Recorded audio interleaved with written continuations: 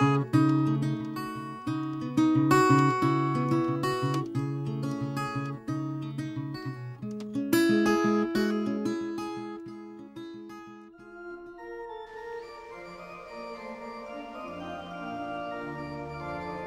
staan voor de grot in de tuin van de familie Ongena. Een stukje geschiedenis wat achter uh, me staat. Ja, uh, wat voor Zuidorpen een hele grote impact heeft gehad.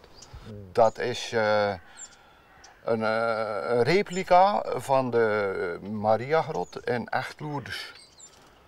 Dus die is nagebouwd in het klein. En dat het dus onder de katholieke mensen uh, hele grote waarde. De grot dat was namelijk uh, door de familie gebouwd en weer op kleine schaal bezocht totdat uh, een paus, paus Pius X, bekend maakte, ieder die de grot in zijn dorpen bezocht, enkele aflaten verdiende. En toen nam het een geweldige vlucht dat het ja, na enkele jaren eigenlijk voor de familie om, om privé-redenen niet meer te doen was van de toeloop. Op het kerkhof is er een replica van deze grot gebouwd. En uh, dan heeft de familie daarna de tuin afgesloten, hermetisch afgesloten, dat de mensen zich moesten verplaatsen naar het openbaar gedeelte, wat dus altijd toegankelijk was, uh, aan de kerk.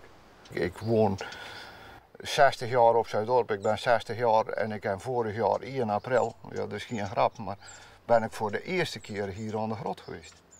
En uh, nou ben ik er voor de tweede keer en het doet me wat. Dat is echt, ja, dat, dat, is een stukje geschiedenis wat uh, herhaalt.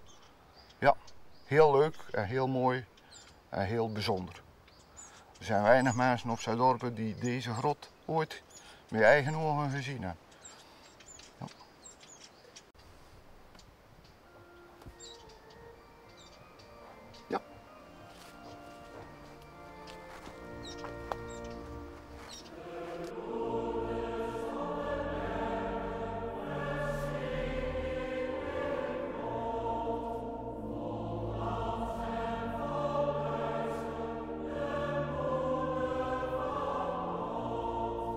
Deze muur is gezet op de plaats waar de grot heeft gestaan.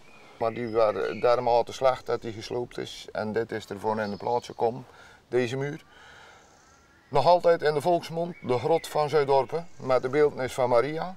En dan hebben we hier de steen. Dat is eh, een steen van de grot van Achtloerders.